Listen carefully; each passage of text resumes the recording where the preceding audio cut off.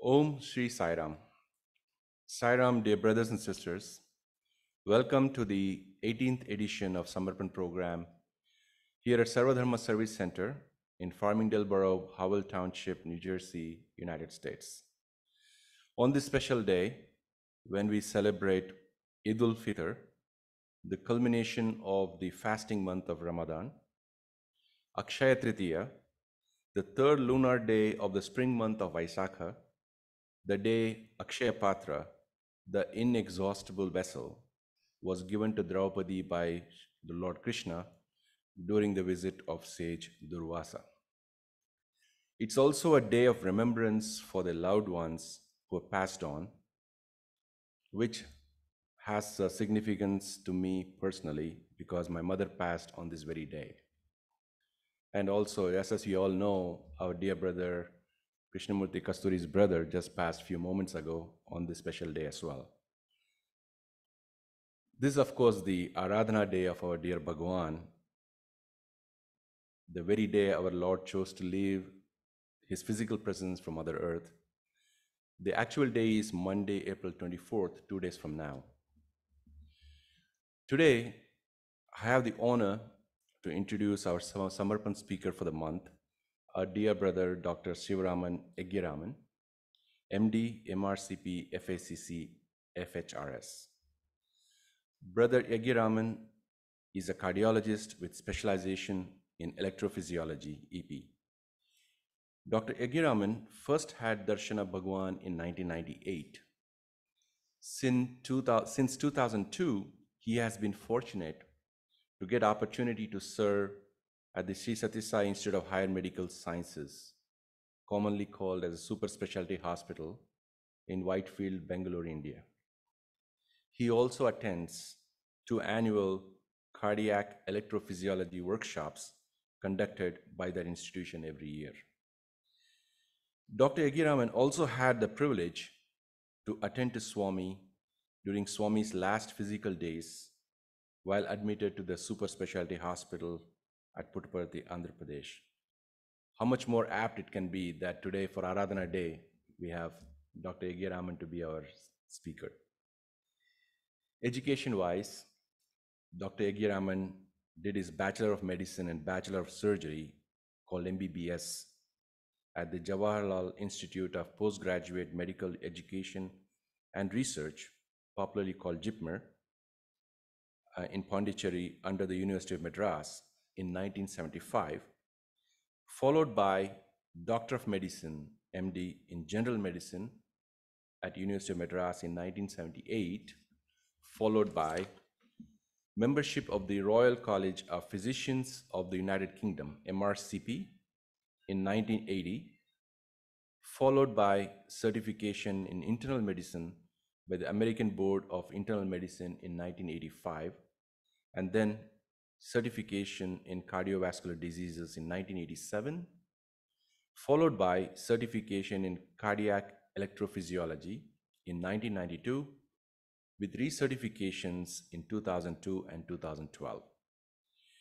Dr. Yegya-Raman was senior resident medicine at JIPMER, Pondicherry, India, GB Pant Hospital, New Delhi, India, senior house officer and registrar in medicine and cardiology at Rush Green Hospital, Romford, Essex, UK, chief resident at Lincoln Hospital, Bronx, New York, and a fellow in cardiovascular diseases and cardiac electrophysiology at Deborah Heart Lung Center, Browns Mills, New Jersey. Currently, Dr. Giraman is attending is attending cardio cardiac electrophysiologist at Virtua Cardiology, Cherry Hill, New Jersey. Dr. Yegya-Raman lives in Cherry Hill, New Jersey, with his wife, Sister Vijay Lakshmi, who is here with us today. They have three sons, Anand, Ravi, and Nikhil, who are also making imprint in their own ways. On the Sai front, in the United States, Dr. Yegya-Raman is a very active member of the Medford Sai Center in New Jersey. For us at Sarvadharma, Dr. Yegya-Raman is a very special brother, as he is involved in several seva activities at the center despite his very busy schedule. He has conducted cardiopulmonary resuscitation CPR sessions for members of the center and has taken keen interest in medical programs at the center. Besides other activities, Dr. Yegya-Raman is an excellent bhajan singer, as we all saw today, and participates in devotional activities at the center. As many of us will also remember, we also enjoyed his bhajan lead at the recent Mahashivratri program here at Sarvadharma Service Center. With this, I would like to invite Brother Dr. Yegya-Raman to the podium and request him to share with us his experiences with Swami for the next 70 minutes or so. Welcome, Brother Saira.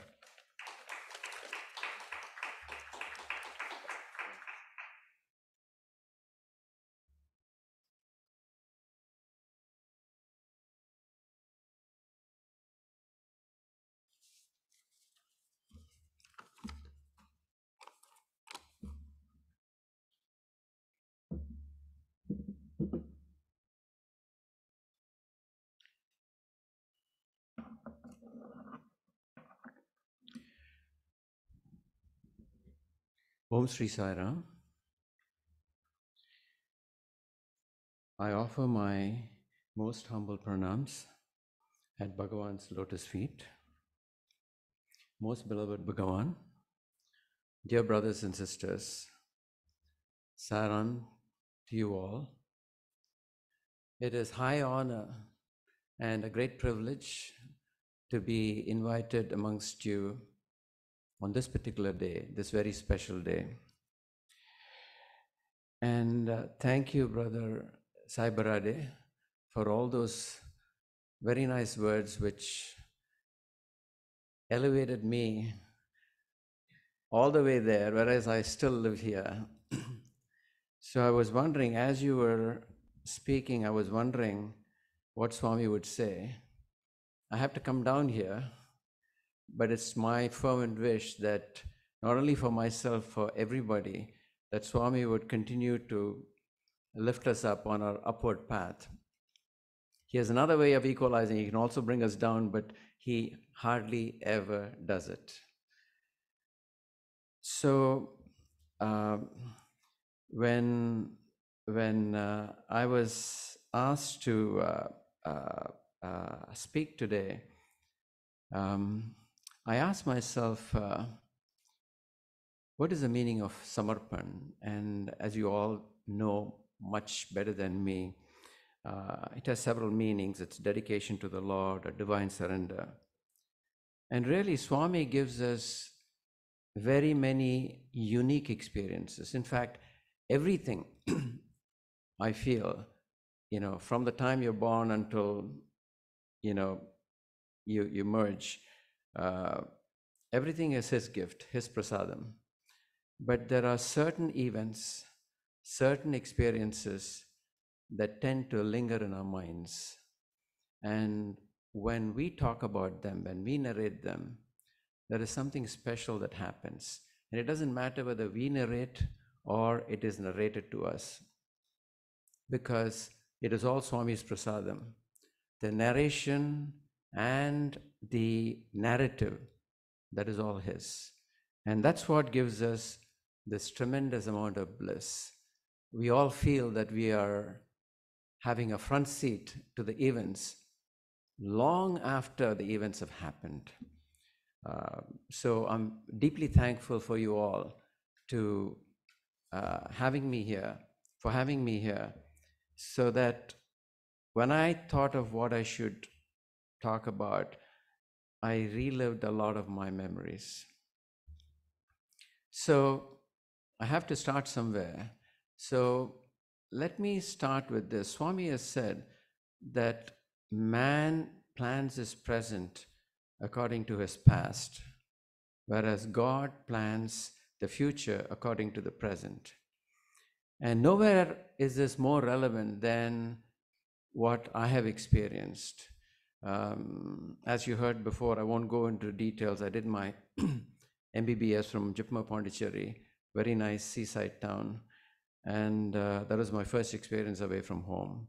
Uh, and then I did my post graduation in internal medicine. Then I got some experience in the UK. Then I came to the USA, and eventually I became a, trained to be a cardiologist. And uh, at that time, there was a there was a fork in the road. I could have chosen to go either as a non-invasive cardiologist, or I could have become a plumber, putting in stents, becoming an electro uh, invasive uh, cardiologist. Or there was a new nascent field that had just come up, and that is cardiac electrophysiology. And uh, at that time, not many people kind of were aware of what electrophysiology was. And I remember my chief, uh, uh, where I trained, he asked me, um, Aren't you going to apply for interventional cardiology? Because he was the chief of interventional cardiologists. And I told him that I've already committed myself to cardiac electrophysiology. So he looked at me and he said, Are you sure? Do you really want to do it? I said, Yes. He said, Why do you want to do it? I almost said it, but it's a good thing I didn't say it because I wanted to tell him that uh, with cardiac electrophysiology, um, it's like playing, playing chess. You have to think about the arrhythmias, irregular heartbeat, and have a game plan. Whereas, you know, being a plumber, you know, you just um, dilate and put stents, and, you know, good thing I didn't say that. Um, so um, I finished my cardiac electrophysiology training, and when I trained, we were still going into the operating room and we were helping the surgeons map certain irregular rapid heartbeats and directing them what to do. But as you know, we cardiologists over the years um, have become good at copying what the surgeons do with our catheters. So over the next decade and or two decades, we have learned how to put these catheters, snake them in through the blood vessels, and bring them into the heart and do what the surgeons were doing with open chest surgery with our catheters. So that's been a huge development over time. so, where shall I, you know, start regarding my, you know, uh, initial journey at Swami's Hospital? Now, before that, in, I believe it was in the year 2000, um, we had, you know, Vijay and I, with the three children, we had gone to uh, India and we had the Upanayanam there, the Upanayanam of my second son, Ravi, and third son, Nikhil. and that was in Chennai. But before that, we went to Parthi and uh, we went for darshan.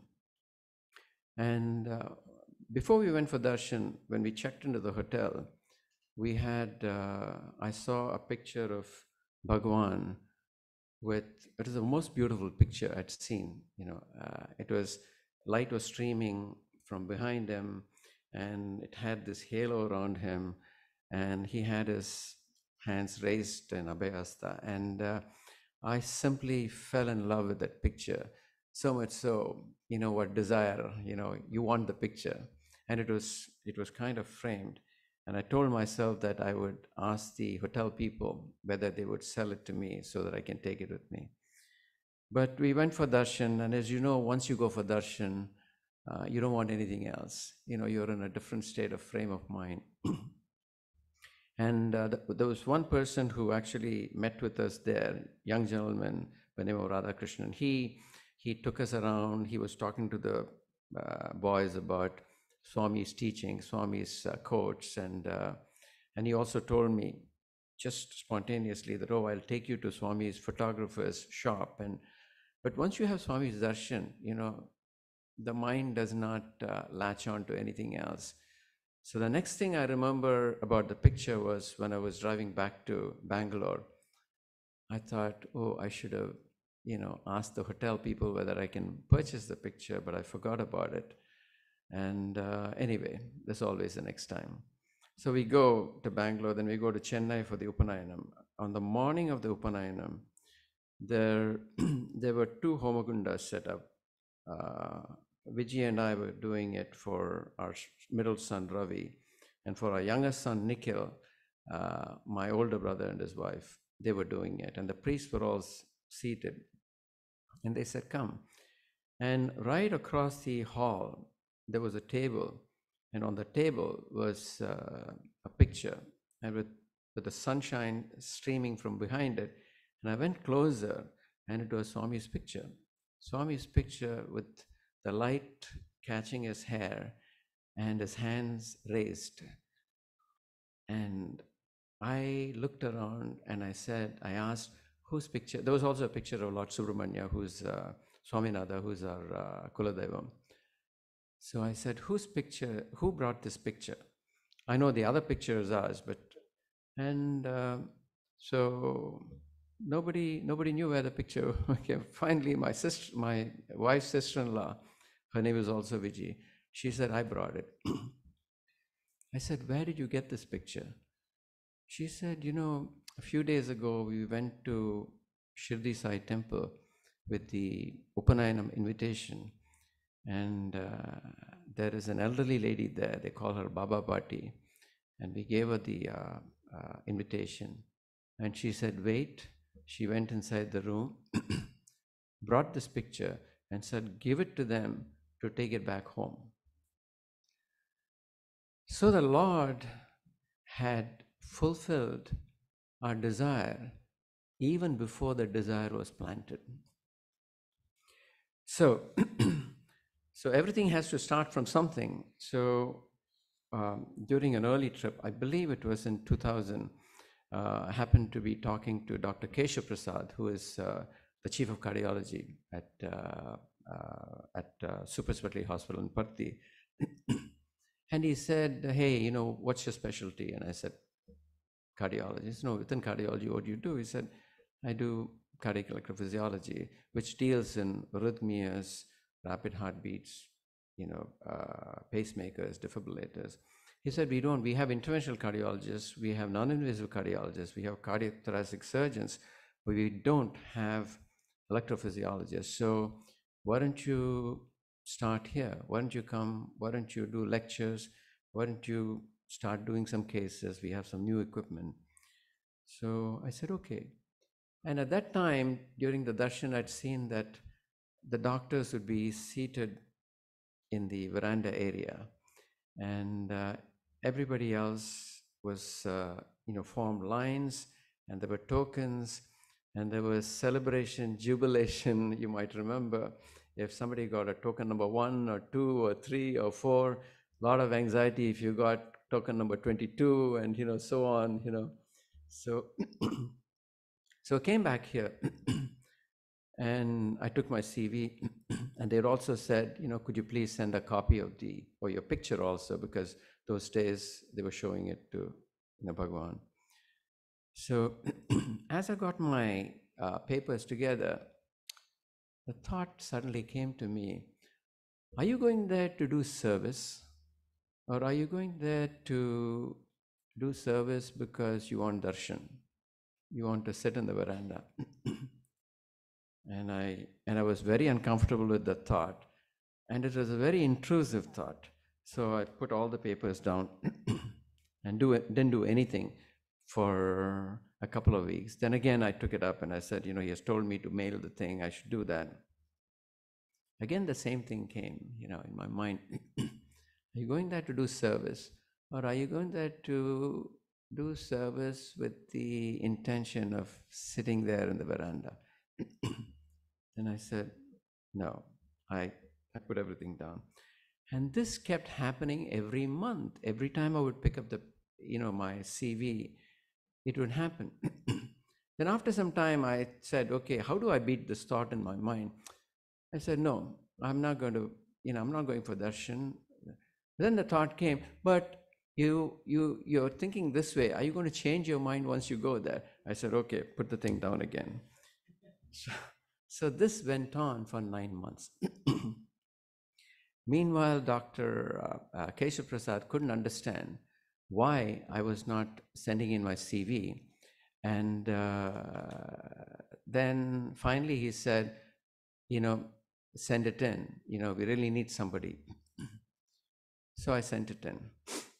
And about a week or 10 days later, I got a very prompt reply from the administrative officer saying, uh, Sairam, we don't need any more doctors. I saw that and you would think that I would be disappointed. I was so happy. I said, Thank you, Swami, for giving me such a direct answer. This has been put to rest. My mind has been restless. Now it is completely clear. That is that.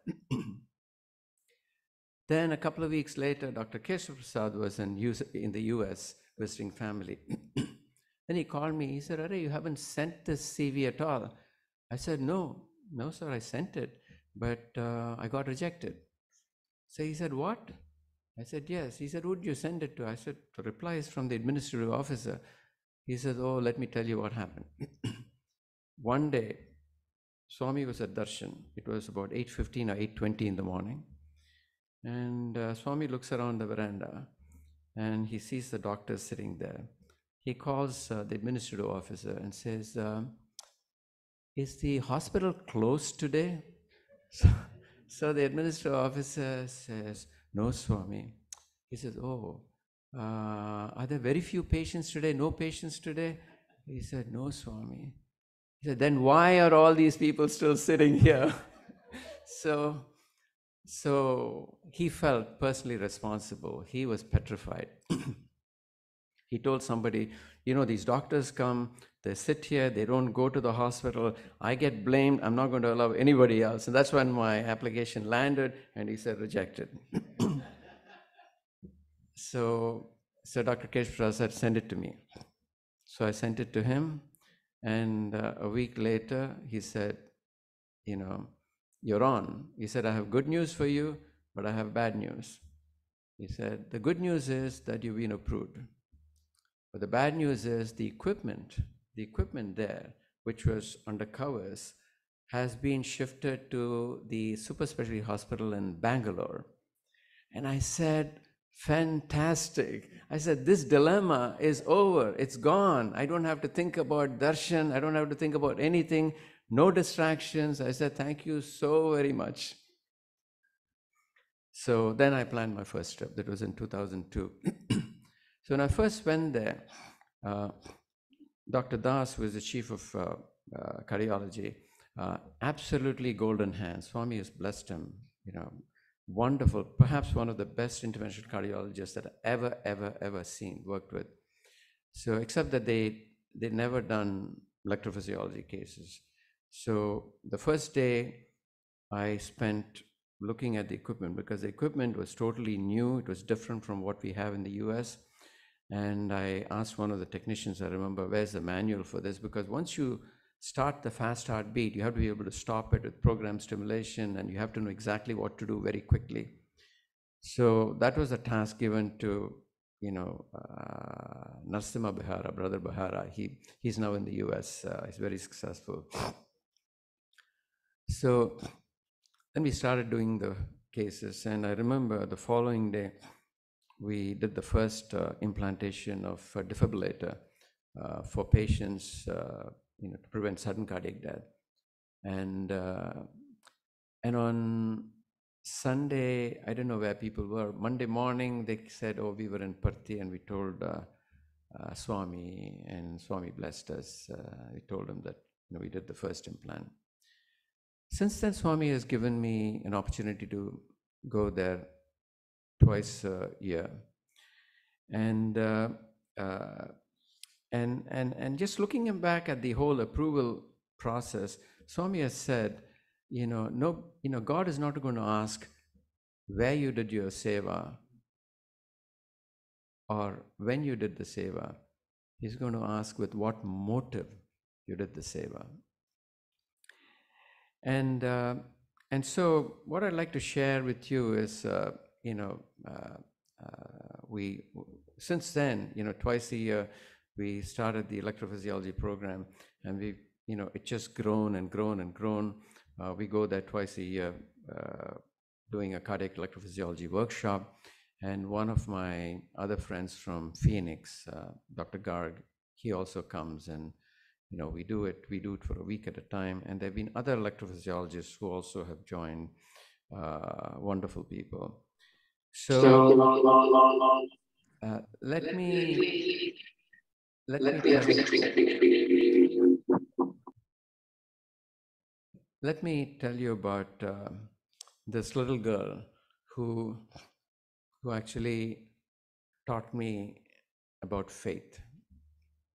So the way it is, there are two labs. One is the where the interventional cardiologist, you know, would be working. Excuse me. And the other lab where we, we had the electrophysiology equipment. And then in between was this big console area. So on the interventional side, there would be coronary cases, a lot of congenital cases, a lot of patients with rheumatic heart disease, you know, valve being dilated. And there was this girl who was led in through the corridor, and she kept saying, Sairam, Sairam, Sairam. And as she came, as she came nearer and nearer to the lamp, her voice just went up. She said, Sairam, Sairam, Sairam.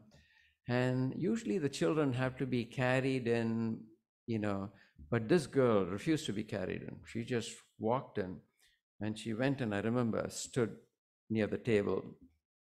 They picked her up, put her on the table, and uh, and she said, her voice increased again, Sairam, Sairam. They put her down, they started the IV, and most children would cry. They would cry out for uh, their mother, but she only cried out for her divine mother. And they started giving the anesthetic, and she said, at the top of her lungs, she just kept saying, Sairam, Sairam. And at that point in time, you know, I was, you know, at that time I thought I was just an observer, and I thought it's a child with uh, either an atrial septal defect or ventricular septal defect for whom a heart catheterization is done before surgery. so I asked the chief technician, Brother Duvakar, I said, uh, Brother Duvakar, who, who is this patient? I thought he was going to say, you know, somebody, he said, Sir, it's your next patient. I said, Really? I said, uh, where, she, where is she from? Swami student. So then I looked at the chart, and she had a history of very rapid heartbeat, 240 beats per minute, 250 beats per minute, which would make her, you know, lighted, dizzy, and even faint. And the medication was not controlling her. And at that point, it hit me that, you know, we had to do the procedure. And I looked at Swami's picture and I said, Swami, you know, you can do anything, you can do everything.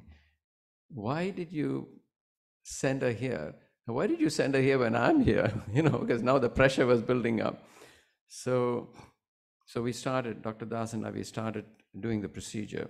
And basically, you know, the heart has two upper chambers, two lower chambers. And all of us have just one electrical connection between the upper and lower chambers whereas this child had an extra electrical connection. So electricity was just going round and round and making the heart go very fast. And right from the time we put our you know, catheters through the groin, her heartbeat was extremely fast 240, 250. We were unable to control it. And what we had to do was we had to use a needle and go through the wall that separates the two upper chambers. It's called a septal puncture and then we go to the left upper chamber and we put a catheter there, hunt around as to where the tract is, and then burn it with radiofrequency energy that you deliver. We used a pediatric catheter, we used a pediatric sheath. We mapped for 45 minutes, one hour. We gave several, we tried and tried and tried. Nothing happened. The rapid heartbeat did not budge.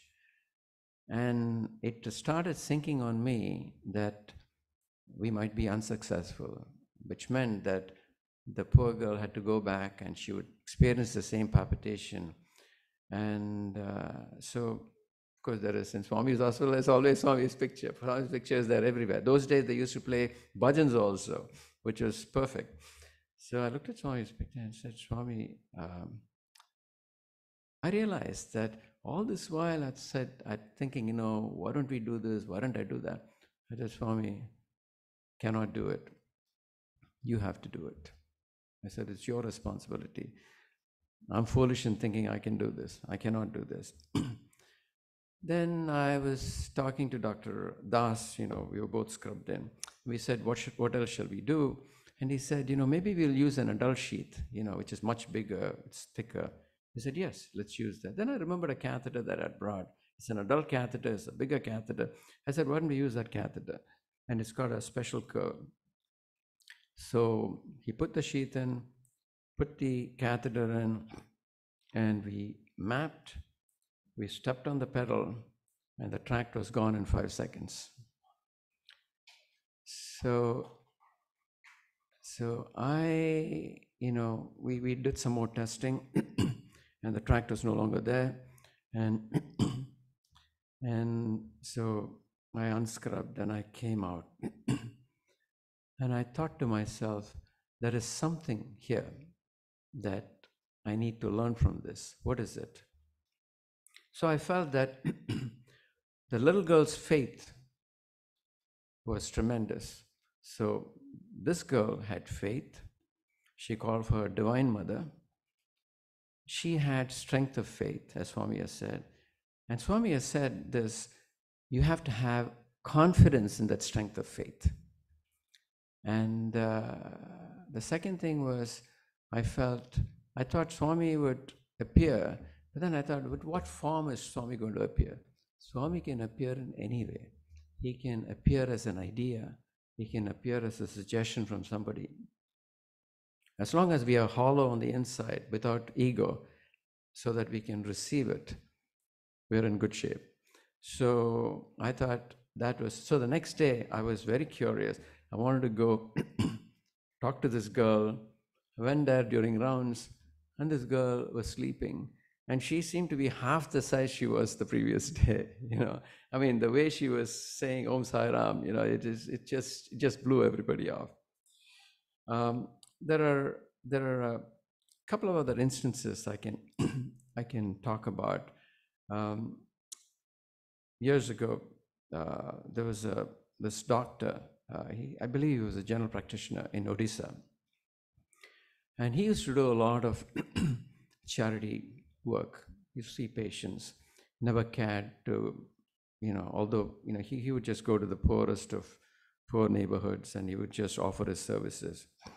And he developed a condition called cardiomyopathy, where the heart muscle is weak, and he had the, his conduction system was weak, and he needed a special defibrillator, uh, which also would resynchronize the lower chain. And the cost of the whole thing at that time with the surgery was quoted at 8 lakhs. And his wife's, uh, his in laws, they said they would arrange, he didn't have the money. They said they would arrange for it at, uh, at, uh, in Delhi. and he didn't want to borrow the money, he didn't want to place himself under any obligation, but it had to be done. Then he had a dream. Swami's figure came in the dream and told him, super specialty hospital. Then next day he was confused. Uh, then he asked some people, and uh, they got in touch with somebody, I think, from the Samiti, and uh, they said, "Is this the person that you saw?" He said, "Yes, this is the picture." They said, "This is uh, you know, Baba." And what did he say? He said, "Super specialty hospital." And he said, "You have to go to super specialty hospital." So his in-laws didn't like this idea of going somewhere, you know, they they wanted him to go to Delhi. So he, his wife, and I think his two children, they got into the train from Bhubaneswar, and uh, so he he bought a ticket for Parthi. So they were about half an hour from Parthi, and his wife was sleeping, children were sleeping, and he also kind of nodded off. And he had another dream, and Swami is telling him, Bangalore, not Puttaparthi. so, he wakes up and he says, uh, to go to Bangalore, not Puttaparthi. Puttaparthi station is coming up. So he he didn't dare to wake his wife up and tell her that we're going to a different place. As it is, she thought that he was crazy. So anyway, long and the short of it is the story is he, he came to the hospital, he got the defibrillator, and years later, he got a replacement of the defibrillator and his heart muscle function improved. Sometimes we think that we are actually given the choice of doing something, but Swami, Swami has his own ways of doing it. Um, one of the early trips, they had presented two patients uh, with a heart muscle problem and they needed the special pacemaker. but we had only one. Then that was the donated one that, you know, taken some equipment from here. And I was feeling, and they said, you know, you have to choose which one to put it in. I said, Sairam, how can I choose? He said, you tell me which patient to put it in, I'll put it in, you know, but I can't choose between one and the other, given, and they said, in all the parameters are the same, both of them. Then I thought to myself, I know that you did the echocardiogram only last month, but can we do the echo again? So they had the echo machine, they brought the patients. And in one of them, the heart muscle function had spontaneously improved. So there was only one other person whose heart muscle function had not improved who qualified for the uh, special pacemaker. So we did that. And I came over and I was so relieved that I didn't have to make the decision. So after I came back, my wife said, uh, you know, you know, just call, you know, his name is, you know, Sri Kale. You know, he said, you know, he he uh, he had called when you were away. He wanted to speak to you. So I called him, and he said, "Oh, by the way, you know, one of my relatives, he's, uh, I think he was a headmaster of uh, Swami School. Uh, his mother uh, needs a, a special pacemaker." So I wanted to just call you and tell you one of your trips, you know, uh, they may come to see you. And he said they also went to, he's a Swami student, so he went to Swami and said, Swami, my mother. And even before he finished saying anything, Swami said, I believe somebody is going to come from USA and your mother will get the pacemaker. And all this happened before even my trip. So I always wonder, you know, what am I doing? You know, there's nothing in my hands. It's it just happens. You're just there, you just go along and do what you have to do. Um, I, I always ask myself, uh, I would ask myself, you know, what is it that actually belongs to me? I mean, if, if everything has been given to you, uh, uh, it's Swami's will that, you know, it's, you know, you do this or you're in this situation or that. What is it? What about my thoughts? So I've wondered about this. So one of the uh, one of the trips uh, to the hospital, I happened to go to Parthi, and the way I used to do it was we would work in the morning, and late afternoon we would take a car, Dr. Das and I, and we would go to Parthi. And very often we would be entering from this entrance and Swami would be entering from that. And I used to feel very guilty. But at the same time, I didn't want to miss out working that morning. And we would go and sit down there. And then, you know, darshan would be over, Swami would leave, and then we would just leave back to Bangalore, you know, very often. So I was sitting there, and yes, I was sitting on the veranda area. and uh, Swami was sitting there facing everybody. And he had this, he was sitting on this chair and this wingback chair, you know. So I could just see the front of his face. And this, I would say, you know, it's an insane thought. You know, I this thought came to my head. Unless Swami turns his head, leans forward, turns his head, he cannot see anybody on this side, right? No, I mean, you know, as soon as this thought came, Swami just rolled his eyes and he just looked out of the corner of the eye. And I said, Oh my gosh. And I just looked away and looked there. Swami was still staring. And now the bhajans receded in the background. There was only panic in my mind, and my thoughts were all scattered. And, and again, I looked, and again, he had this, he was looking out of the corner of the eye. And I said, Oh my gosh, when, you know, what did I do? Then I looked again, he was looking, you know, there. And now I was thinking, you have traveled thousands of miles away. You come for darshan for half an hour or 40 minutes. Can't you control your mind? You know, how difficult it is to control your mind. You have no control over your thoughts. You come all the way here, and instead of having a nice darshan, you have this very silly thought in your mind and I was just beating myself. I just couldn't. I said, you know. And then suddenly the thought came to my mind how did Swami know this? So, so then I liked that thought. You know, I said, yes, how did th- Swami know this? Um, so then the other thought came that must be a thought that Swami sent. Then I like that also. So then I said, Swami, your thought, you own everything, including my thoughts. So it is your thought. So I have nothing to do with it. So why should I feel so bad? So I just want to enjoy the rest of the darshan. And then it's like all that noise went away and the bhajan started resounding and you know everything went back to normal. So so that was a very powerful uh, you know lesson that I had.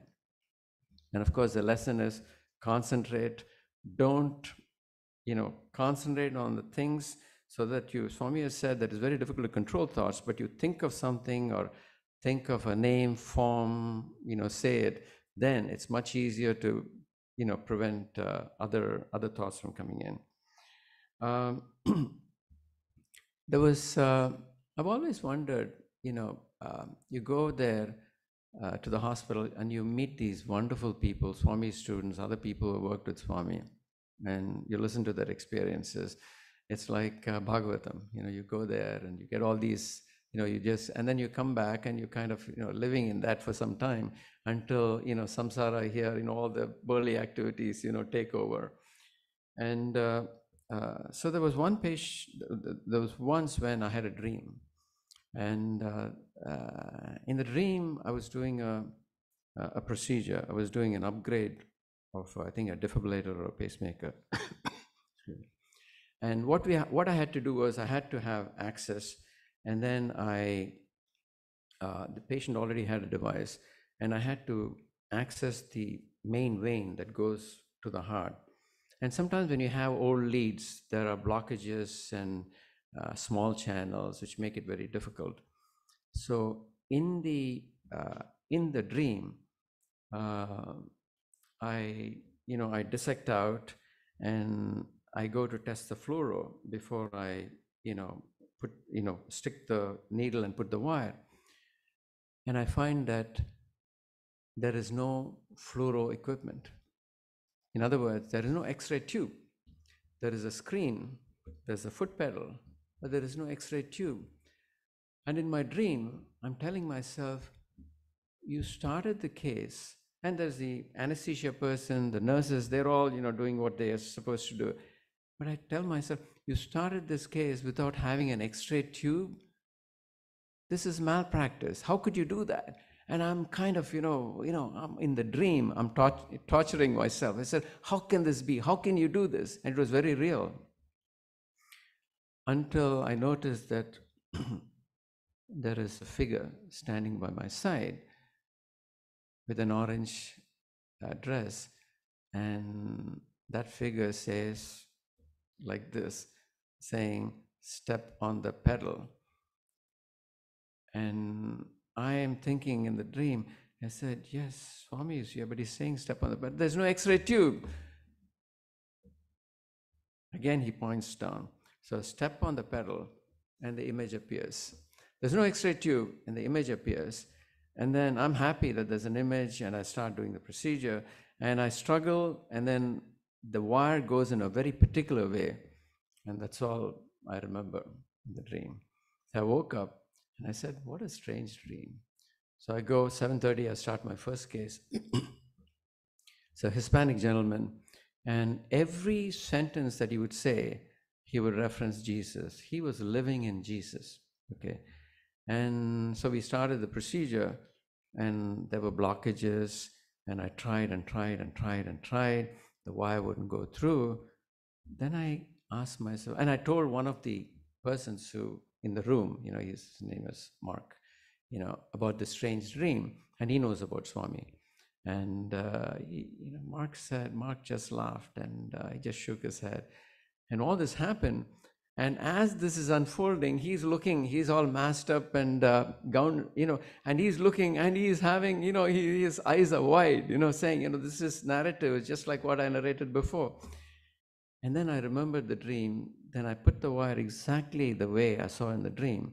It went through. We were able to finish the procedure. So as I unscrubbed, um, I felt good. I felt good. I said, "Thank you, Swami." You know, he helped out. But the focus was totally different. You know, after the procedure, I went to the recovery room, and the patient had woken up, and I talked to him. Then I realized why Swami had done what he had done. This man is so spiritually evolved, so full of love, that Swami had to be there. Swami had to be there to make sure that it was a safe and successful you know, procedure. And I just feel very fortunate that somewhere along the line, I was a small instrument to, to, to see it through and have the wonderful experience. Um, there's, uh, uh, Sarah, we have a little bit of time. Okay. now, uh, there are some things that we think are profound that you know we like to narrate, but there are some very, uh, very uh, uh, you know mundane things that also happen. You know that puts us into panic.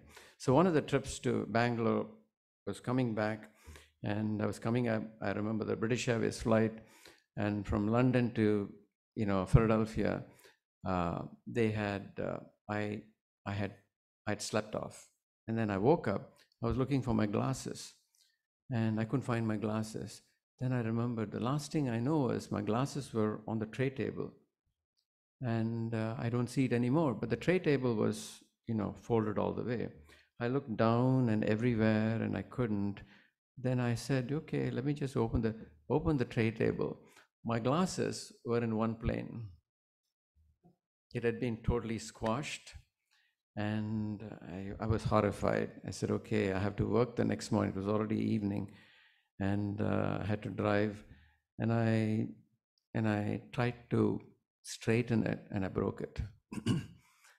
now I was thinking, you know, what will I do tomorrow? I have to drive. It's a Sunday evening. I can't get it fixed. You know, I can't do my procedures. You know, and you know. I go on a trip like this, but coming back, you know, why was I so careless? You know, you, you know, a lot of things. So we land there, and you know, my wife had come to pick me up, and she said, "Where is your glasses?" I said, "You know, it's broken." So as you were driving, I remembered one of my son's uh, friend's father. You know, he was an optometrist.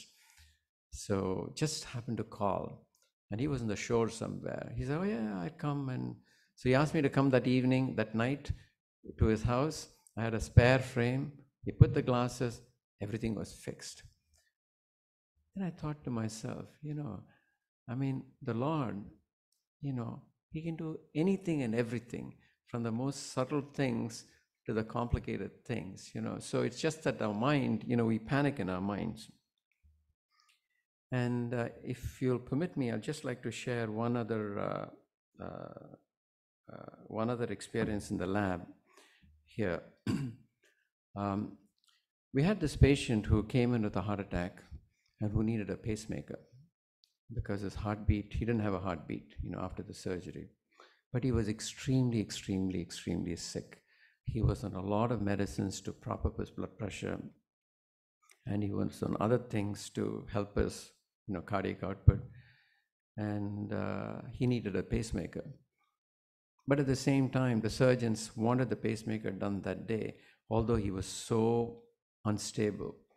And we discussed it, and I felt that just the act of transporting him from the uh, uh, from the cardiothoracic unit to the electrophysiology laboratory and back might just be too much for him. He would decompensate, you know, he would crash. But they said, no, we wanted. I said, okay, fine. So I said, Swami, in your hands. So we took the patient to the electrophysiology laboratory. I started the case. And I thought this was going to be unbelievably difficult. But everything just flowed. Everything just flowed.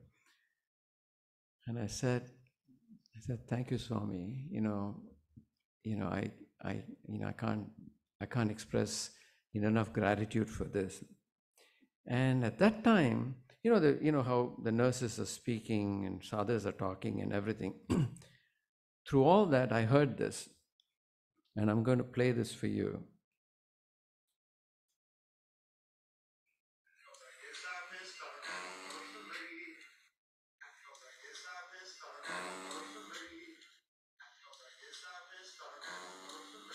So it's the sound of Om that keeps happening over and over and over again. and this is caused from the ventilator system. Okay. So I thought I was imagining it, but then it just came Om, Om, Om.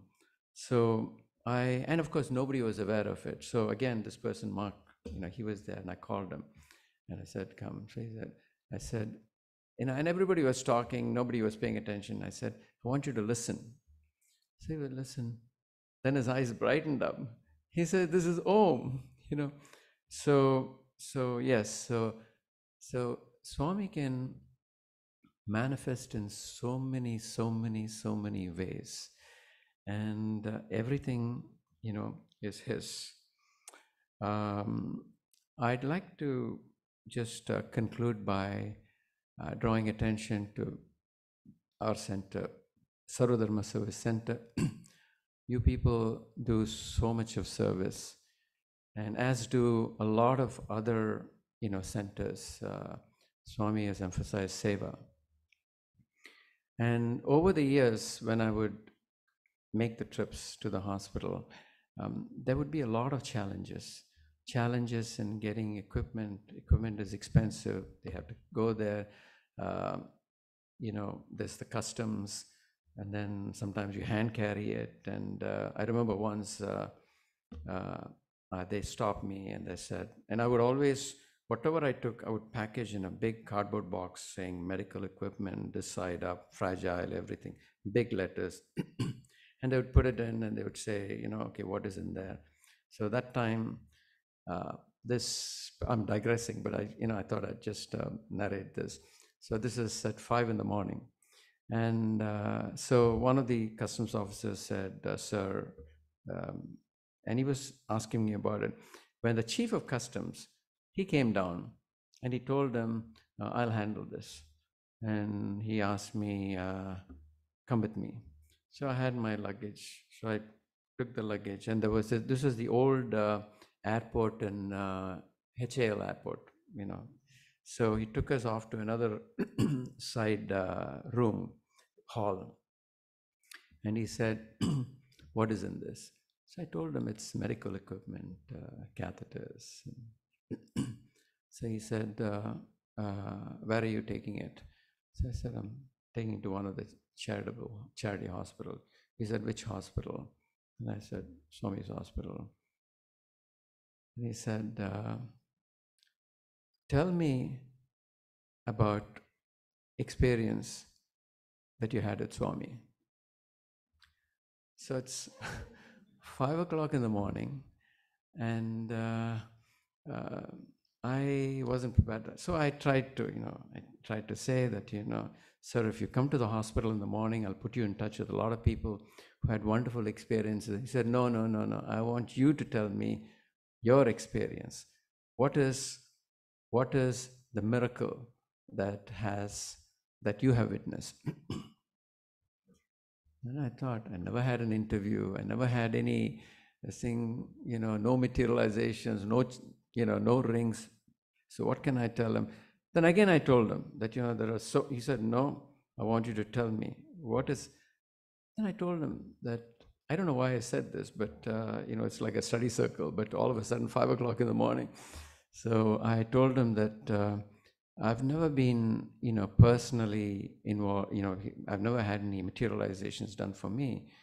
But his greatest miracle for me is the change, the transformation that is set forth in me. He looked at me, he raised both the hands, and he said, Go.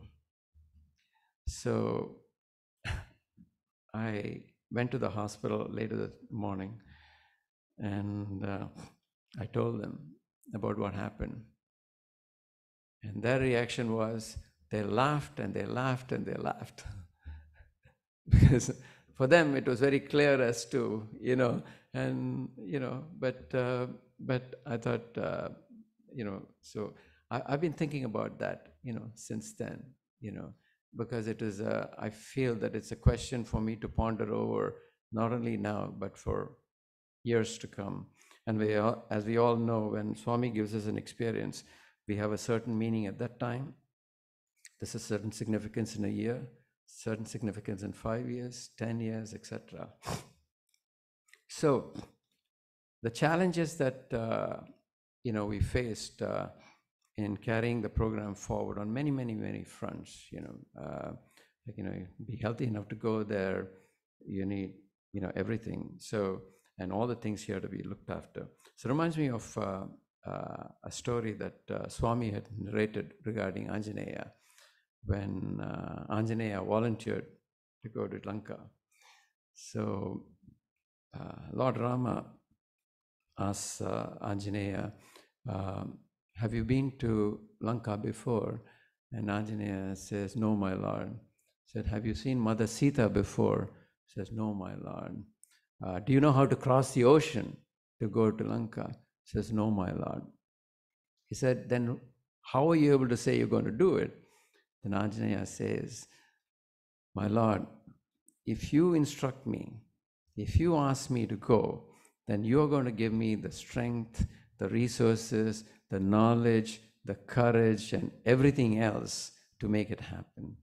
So, on that note, I would like to express my uh, heartfelt gratitude to Bhagavan, and I would like to thank all of you for having me here today. Sairam.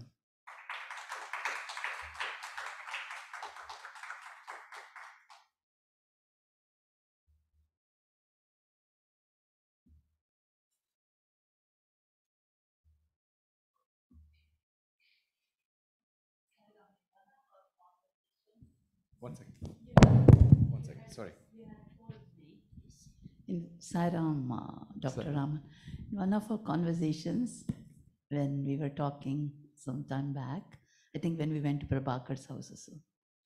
So you had told me, I had asked you, how do you feel when you open the heart and see it? I'm see sorry, the- how do see- you? Feel when you really see the circuitry working in the heart. Well, you know, and you had told me about a symphony. So I would like you to repeat that if you can. I, I forget what I told you, but it was so beautiful. You said when you opened it, you felt like there is a beautiful symphony between the chambers and the. That is very true because uh, just like you know this, when the genome project went forward, you know, scientists thought that they had uh, discovered, you know, the Holy Grail, except that they found that there was more things to discover. So similarly, uh, for the heart to beat and pump blood, it needs to be very synchronous. So it starts at the macro level by generating electricity and the micro level by conducting through all the branches to the different parts of the heart. And then this is mediated by ions, channels, gap junctions, subcellular, you know, movement of, you know, you know, uh, all charges. And then the excitation, contraction, you know, process starts. So yes, it is truly a symphony because right from the time, you know, we we we still know kind of the mechanism uh, as to how the heart beats, but we don't know why the heart beats. Saram, Dr. Ram. I'm going to ask you about that 800 pound gorilla. um, I know you, you know, we all are, um, we're all patients of Swami, and you had the unique privilege that Swami was your patient um, in certain ways. And the only thing is, I know you have to be careful how you talk, but the question we have is, you know, you had an ex- ex- good experience of how you landed when you know when you got a call that Swami was in the hospital. If you can tell us about that, that was a very fascinating experience. We like you to relive for us, Sarah. Saram, um, I don't for a moment uh, even begin to imagine that anybody can treat Swami. Swami is uh, Swami is that you know higher presence. he took the body, he gave up the body, but he is immensely beyond everything. And he is in us all. He is with us just the same or even more. We feel his presence. Um, when I uh, when I uh, uh, you know, just like uh, uh, all my other patients here, I mean, you know, because of the uh, patient doctor communication privilege, privacy, we don't talk about. But I can tell you this when you know they, they, they put me on notice and saying that you may need to come. And I said, okay, I'll be on standby. Dr. Das had said this. And the when he told me finally, okay, can you be here? How soon can you be here? So I went to New York City. Uh, we went to get the visa. Those days, if you travel to India in 2011, you didn't have. I didn't have an OCI card. Uh, if you travel, if you wanted to travel again within 60 days, you needed um, some special visa. So I had to get that. So went there, except that we went to the embassy or something like that. We had to go to the consulate, and I was on call that night. It was a Friday, and I worked that morning. Went there to New York, and we went to the consulate. The door was closed, and uh, it was five o'clock, and there was a long line of people waiting to collect the passports. And I was wondering how I was going to go. And when suddenly one of the officers came and I said, Can you help me out? You know, I need a visa. He said, No problem. If he said, If I open the front door, you know, 100 people will get in. I'll open the side door. I'll ask security. so they opened the side door. We went in. And I had, uh, I didn't want to talk about the purpose uh, for which I was going. You know, I didn't want to. They'd, they'd uh, sent me a letter, uh, email, uh, but I did not want to use it or so. Uh, I told the lady at the desk that you know I need to talk to somebody, and she said, "Fine." She went. One of the senior officers immediately came out, and he said, "How can I help you?" I said, "You know, I need a visa. I have to travel." He said, "No problem." Those days you had to have documentation of urgency for reason for travel. Nothing. He just took my passport, went inside, did the stamp, brought it out, gave me his card. He said, if you have any problems, contact me directly. Go. So, um, um, yes, those were very, uh, uh, I think, difficult uh, days for everybody. And um, um, uh, the only thing that I prayed to Swami at that time was usually we want his darshan, you know, we want to see him as divinity. I said, Swami, I don't want to see you as divinity. Give me the ability to see you as an ordinary patient in, in my ICU. Because I can't, I can't, I can't take this divinity thing at this point in time. You know, you can't examine a person if you think that they're divinity. You have to be clear. They're just another. So I don't know whether I was wrong in doing that, but I said, I just want to see you as my regular patients, and he granted me that.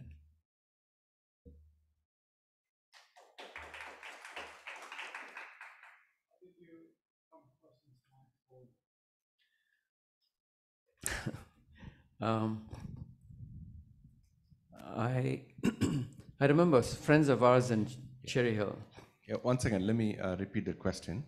So the question was, how did you come to see Swami for, you know, in first time? So, So, yeah.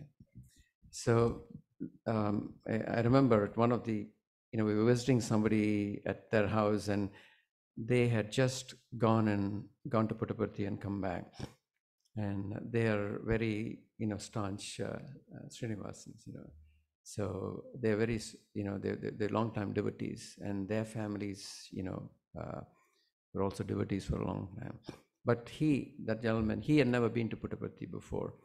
And he was telling me that he went there and he had darshan of Swami. And he said it was like an aha experience, you know, it was a totally different experience and it just grew on him. And he said, you know, things have been so different since then. I feel so peaceful inside. It's a wonderful experience. And we were planning a trip to India. So, you know, it's always the ladies who want to go and visit Puttaparthi and things. The men find, you know, excuses to go to other places. So, uh, so we went to uh, Parthi with the kids. And Swami came. We had Swami's darshan. And we, at that time, we didn't even know that there was a cafeteria inside. That was the first, very first time that we went. We didn't know that there was accommodation inside. We didn't know about the token system or anything like that. So we went for one darshan. Swami, you know, we saw Swami at a distance, and uh, and then we were driving back to Bangalore. And I thought to myself, you know, Srinivasan had said he had this aha experience, but nothing happened to me. So uh, I said, okay. Then a week later, after coming back here, I thought about it and said, you know, Srinivasan said that, you know, it transformed him. It's, I said, but nothing happened to me. I said, maybe it'll happen slowly. Well, a month went by, two months went by, three months went by, six months went by. And I said, you know, it's not meant to be for me. so it's not going to happen to me. So that's the way I left it until the subsequent visit, until the picture where uh, we got Swami's picture. Thank you, Doctor, for sharing such uh, um, wonderful experiences and self in- introspection uh, that you had with entering into Swami's life. Now, as you were serving in Bangalore with Dr. Das, the super specialty hospital, and treating patients who say Sai Ram, Sai Ram, and there is probably in you as well that connection that you established with Swami more intensely in that environment. And when you come back to US and you're doing your daily job in the hospital here, do you get the same connection? If not, how what did you do? Maybe if you got it, how did you make sure you maintain the same state here? It's a good, uh, thank you for that question. It's a great question. Um, for me, it's simple. The patient is Swami, anesthesiologist is Swami, anesthesia Swami, the nurses are Swami, and my knowledge is Swami. So I'm just, uh, I'm just, uh, you know, an instrument, just like the surgical instruments, and I leave it at that. Then, then I just concentrate on the uh, procedure. And I mean, there were times when you know you run into tough problems and everything, and whoever comes to that you call on to get this test done, that done, get second opinion, this, that, they're all Swami. That's it. So, you know, that way you can be very functional in spite of the fact that the patient, you know, is crashing or, you know, things happen, you know. So, you know, that uh, avoids a sense of panic. You can be, you can do what you have to do.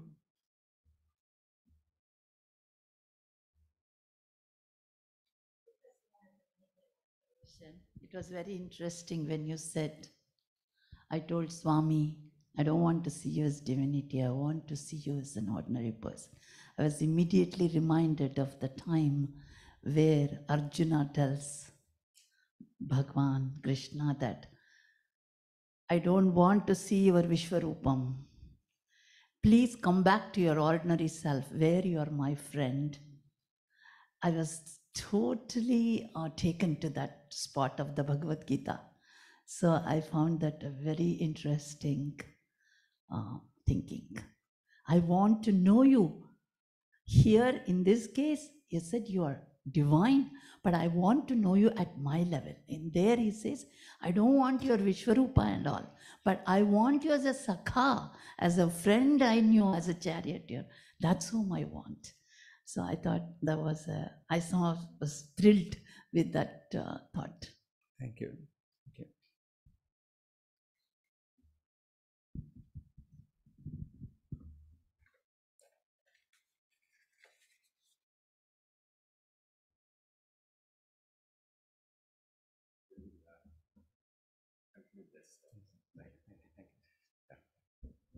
So I think we have no more questions. So with this, um, we will conclude the program, and I'd like to thank Dr. Yegya-Raman for making it happen. Um, as we all have been noticing for the last few sessions, right? Um, the Samarpan program somehow is not arranged by us; it's arranged by Swami. You know, we try so many people, and everybody who we think is saying yes at the last minute, they say no, and something happens to them. In this case, the opposite happened. It's actually, you know, Dr. Raman didn't want to come this week. He said he was very busy, and this happens to be the fourth Saturdays when they do the seva activities, and he said it won't happen. And somehow, you know, he came to know at the last minute that that seva got pushed to the next week, if I'm correct. So, so please go ahead. You can. The other thing was I, I felt sick last weekend. and I was coughing, coughing, coughing every night. And my wife Vijay also said, you know, how are you going to go there? And I was kind of scared to call Brother Sai Brade and say, you know, you know, I'm sorry, I may not be able to come. So I thought I'd wing it, I'd take a chance. And here I am. I'm th- thankful to Swami for that. So thanks again. It was such a beautiful talk, and um, you know, um, like I said, a lot of people were asking about your experience, Swami, and you, I think you conveyed perfectly. You know, like um, that Swami was your patient, and it wasn't the the divinity that we all look at, and that kind of answers a lot of our questions. So we thank you once again, Doctor, for coming and. I think we also uh, need the next round of um, the CPR pro courses at uh, Sarva Dharma, which we encourage everyone to attend. Um, it's one of those easiest way to actually save a life. Um, I think we should continue this here and also in India, which I think there's more requirement for there because of the lack of uh, emergency facilities as well as here. So we look forward to it again. And thank you. And um, I'd like to have Brother Swaminathan come by and felicitate you, please. Come this way. sir. You can come here, please, near Swami's. Brother.